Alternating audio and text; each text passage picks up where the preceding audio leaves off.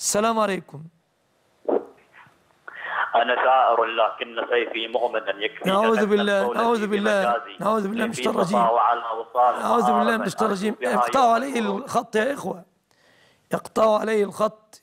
دائما نبتلى بمثل هذا الرافضي الشيعي البغيض الذي يسب أزواج النبي محمد عليه الصلاة والسلام. أيضا في هذا المقام أذكر بعض المرشحين للرئاسة. الذين قدموا أنفسهم للترشح لها بتقوى الله. فمثل هذا الذي يطعن في أم المؤمنين عائشة وعلى أضرابه وعلى شاكلته الشيعة البعداء البغضاء الذين يسبون أصحاب النبي يتمالأ معهم بعض المرشحين للرئاسة ويجهلون ويقولون إن الخلافات بيننا وبينهم سياسية فحسب.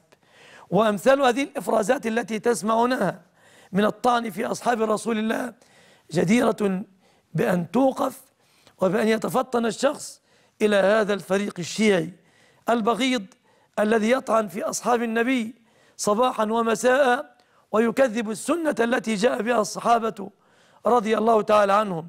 فتفطنوا لهؤلاء المتشيعين البعداء البغضاء. أما أن يأتي شخص من أجل مجاملة لقوم من أجل ترشح لمنصب يعلن عن ولائه لهم فنعوذ بالله من الخذلان.